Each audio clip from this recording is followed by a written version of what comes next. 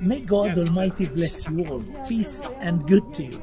I am in this beautiful hospital here in Czech Republic and uh, visiting this beautiful garden here. One takes the idea of uh, repose, of courage, of strength in the trials of life.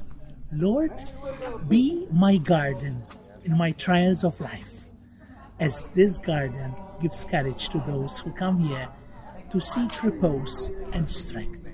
God bless us, Father, Son, and Holy Spirit. Amen.